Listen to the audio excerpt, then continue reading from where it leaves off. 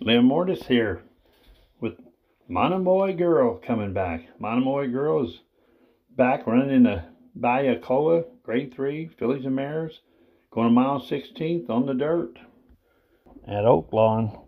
Monomoy Girl, six-year-old champ. After going undefeated 4-4 last year, won the Breeders' Cup Distaff. Monomoy Girl is a true American champion. Uh, I'm a huge fan of Monomoy Girl. Horse racing always needs a hero, and she's sure stepping up for that, in my opinion. Big chestnut, white star on her face, Kentucky bred, out of Tapizar. Tapizar herself won the 2012 British Cup, uh, 2012 Breeders' Cup Dirt Mile.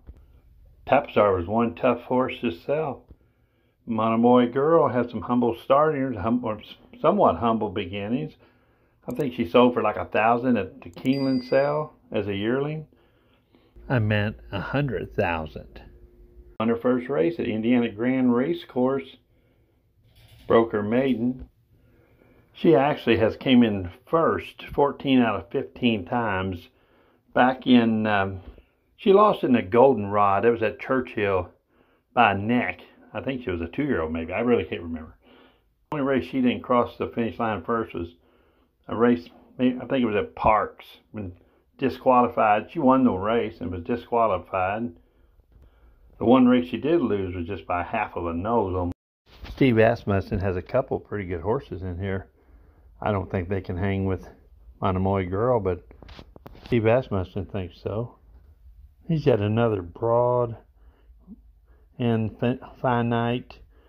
Finite was fourth in a grade one, and another broad ran third in a grade three. And then there's another horse, Instant counsel who might get in. No Parole, maybe. There's a few others. But with Monomoy growing here, I seriously doubt if there'll be a big field. That's the Bayakoa, grade three, fillies and mares, mile 16th, starring Monomoy Girl next next Monday at Oaklawn. I know. As always, Brad Cox training Monomoy Girl. I think nobody will be a match for Monomoy Girl. I think she's a true champion. Well, good luck, everybody.